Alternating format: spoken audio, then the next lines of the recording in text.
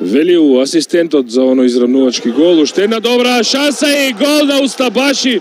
Уште една добра асистенција од Велиу. 92 минута. Шкупи постигнува гол кој можеби ќе ги однесе во Европа. Каква завршница на Тодор Проевски, шок за фудбалерите на Работнички. Одличен Артан Велиу, две асистенции за помалку од 4 минути и двете топки упатени кон Берат Джоната